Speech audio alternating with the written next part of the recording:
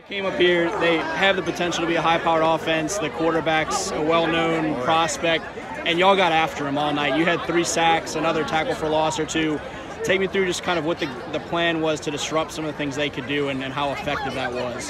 Well, we went over film every day this week, last week, excuse me, or this week mm-hmm. currently, and just a lot of preparation, mental, mental hard work, hard work in general. We schemed them up perfectly, and that scoreboard proves it. How hungry were y'all to get back to it this week after the way things went last week? Super hungry. I mean, that, that, that game set us straight. It set us straight. We, we came prepared. What did this week mean to get back on the positive side of things, get some momentum going back, uh, knowing that you'll be back into district mode here soon and, and have some, some really high expectations for this yeah, team? This week, I mean, this, this scoreboard, I love looking at it. 27 0. We're all excited about it. We're looking for the we're looking too far ahead for the state champ, but I, we're going to make it. I know it. I promise. I promise.